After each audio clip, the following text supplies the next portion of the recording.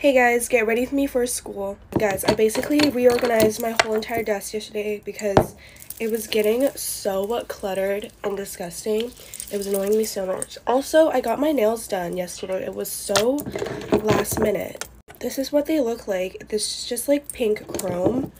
And I know I said I wasn't going to put anything on my ring finger because of the incident I had, but the nail tech said that my nail was grown out enough to put a nail, like acrylic on it.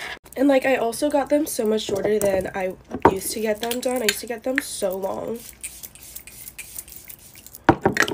But yeah, I'm actually so happy with my nails. So glad I got them done. It's been so long since I've gotten my nails done. And I just feel so complete now. Okay, I want to try and leave early today just because I have to print something at the library. Our printer's like broken. So like every time I want to print something,